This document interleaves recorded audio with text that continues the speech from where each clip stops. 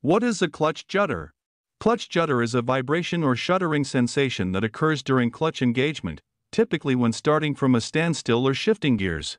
This issue is often caused by uneven friction between the clutch disc, pressure plate, and flywheel, resulting in irregular power transfer.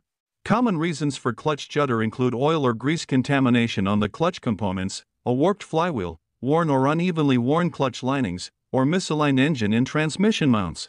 It can also be exacerbated by aggressive driving habits or improper clutch installation.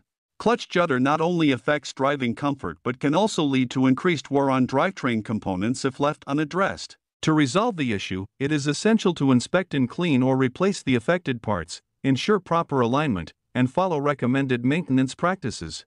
Addressing clutch judder promptly helps maintain smooth vehicle operation and prolongs the lifespan of the clutch system.